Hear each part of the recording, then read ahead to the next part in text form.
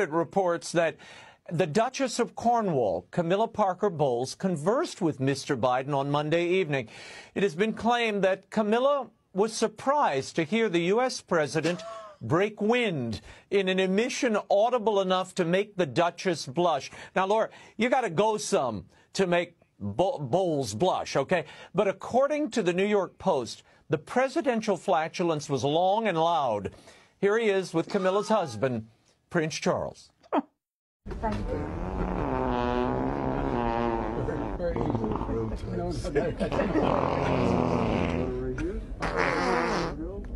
And then right here. Okay. Thank you. Thank you. Now, Laura. that this is was so. a Let me. Show I've been a significant. Sorry.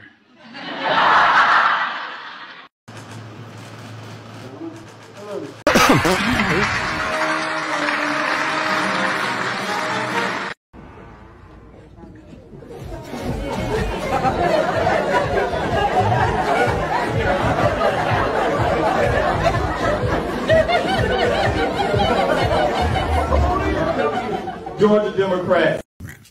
Or stop work on roads and bridges. So, what does the human cost uh, as nations and treaties as law? Respect for. It is my great honor to introduce the President of the United States, President Joe Biden.